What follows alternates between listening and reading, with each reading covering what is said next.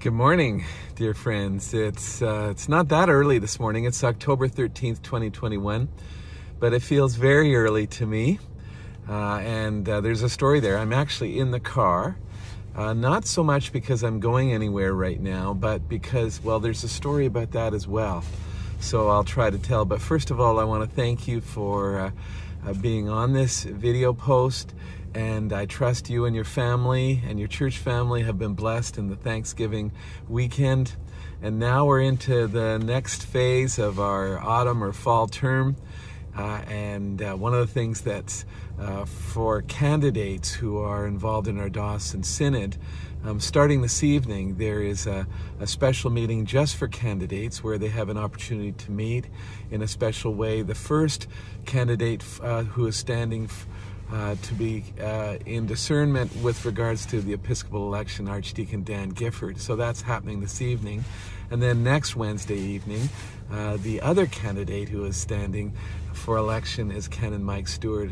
So those uh, pray for our, our candidates for uh, diocesan Synod who uh, need to discern, and um, so that's that's going on this evening.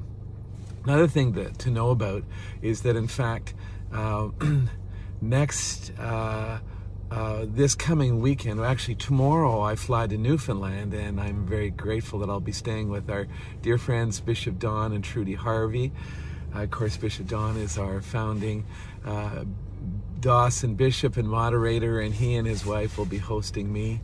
And I'm going to be involved in three ordinations in Newfoundland, and I'd really appreciate your prayer. Uh, on uh, Friday evening, Bruce Noseworthy is to be ordained to the diaconate, uh, and he's connected to St. Stephen the Martyr in St. John's, Newfoundland. And then on Sunday afternoon, uh, I uh, hoped, I'm looking forward to ordaining Ida Reed to the diaconate at St. Matthew's Gander. We're actually going to be meeting in the Salvation Army Citadel for this special service on Sunday afternoon, October 17th. And then Monday evening, Monday being St. Luke's Day, uh, Deacon Colton Carrick is to be ordained to the priesthood or the presbyterate at Good Samaritan in St. John's, Newfoundland. So please pray for those people, for Bruce Noseworthy to diaconate, Ida Reed to the diaconate, and uh, Deacon Colton Carrick to the priesthood, uh, and that would be wonderful. Well, let me tell you why I'm in the car. You might actually hear the engine running, uh, and the reason is because uh, last night my wife and I flew in from Vancouver. It was very late. It was after, well after midnight, and we were so grateful our luggage came through quickly.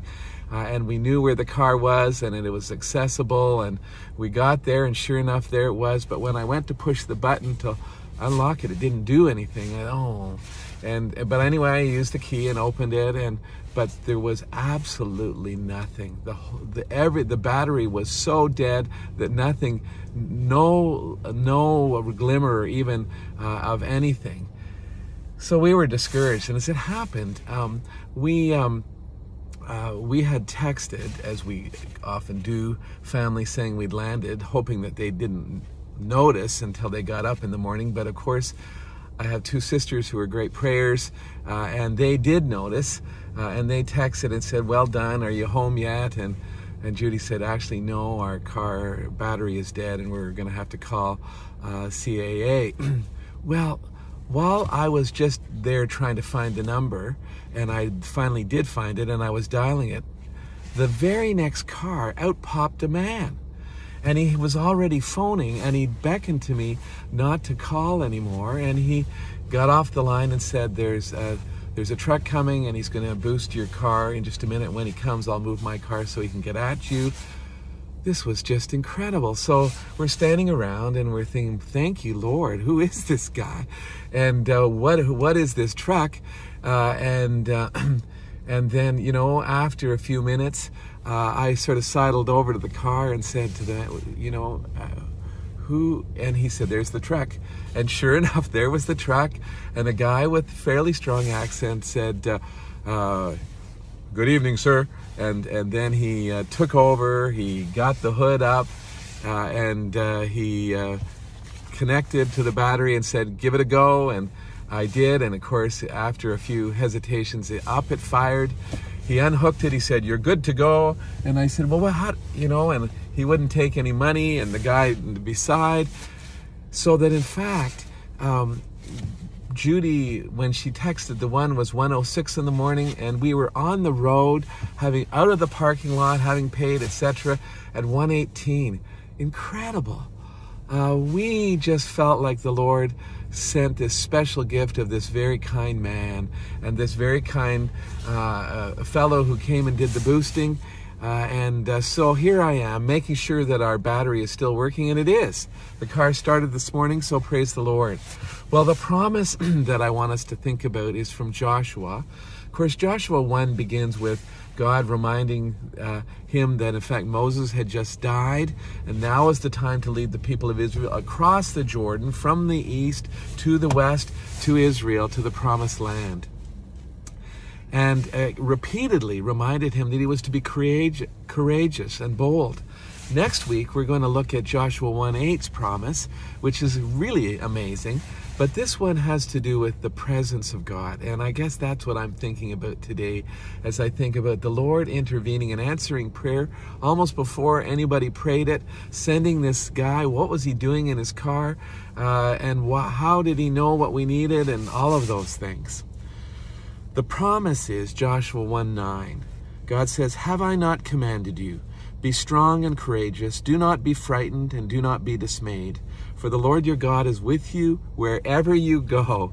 Joshua 1 9. The Lord your God is with you wherever you go. Joshua 1 9. So guys like me and God, and people like you need to be courageous and bold and walk with God knowing that he's already there and he goes with us wherever we are. Let me end with a, a prayer. Uh, for, uh, the collect, O God, our refuge and strength, true source of all godliness, graciously hear the devout prayers of your church, and grant that these things which we ask faithfully we may obtain effectually through, through Jesus Christ our Lord, who lives and reigns with you in the Holy Spirit, one God, now and forever. Amen. Dear friends, we serve a wonderful risen Savior, and He's with us always. So we need everybody to come to know Him. So please search the scriptures daily, and every opportunity you have, open your mouth and speak about this wonderful Lord Jesus.